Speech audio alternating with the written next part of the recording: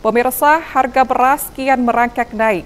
Bahkan kenaikan mencapai Rp5.000 hingga Rp10.000 per karungnya. Kenaikan harga beras ini telah terjadi sejak seminggu terakhir. Akibat harga beras kian naik, membuat para pedagang tak mampu menstok beras premium. Informasi ini sekaligus menutup perjumpaan kita kali ini. Dan pemirsa, berita JEK TV juga dapat diakses melalui YouTube resmi JEK TV dan jaring media sosial di bawah ini. Terus perbaharui informasi Anda melalui saluran berita resmi Cek TV. Akhir kata, saya Rinda Udina pamit undur diri dan sampai jumpa Cek TV, inspirasi kita. Sejumlah beras premium di seluruh Indonesia perangkak naik. Begitu pula di tingkat pedagang, terkhusus di pasar tradisional Kota Kuala Tungkal.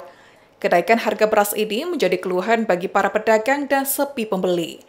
Salah satu pedagang di Pasar Parit, Tangguh Rajo Ilir, Ahpadi membenarkan jika saat ini harga beras premium kembali merangkak naik. Bahkan kenaikan mencapai Rp5.000 hingga Rp10.000 per karungnya.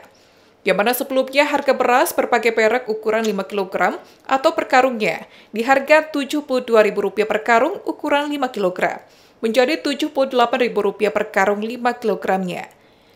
Sedangkan beras ukuran 10 kg sebelumnya hanya Rp148.000, kini naik menjadi Rp158.000 per karung ukuran 10 kg.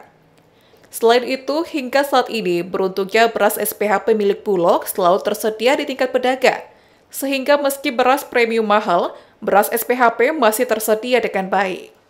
Beras naik 5.000 yang 20 kilo per karung, datu yang 2, yang 10 kilo 3000 per karung. Jenis premium dia. Premium ya. Kalau kayak beras kampung naik beras kampung agak turun. turun ya. Ya, kan sekarang musim panen bang. Kan belum ada pasokan di sini.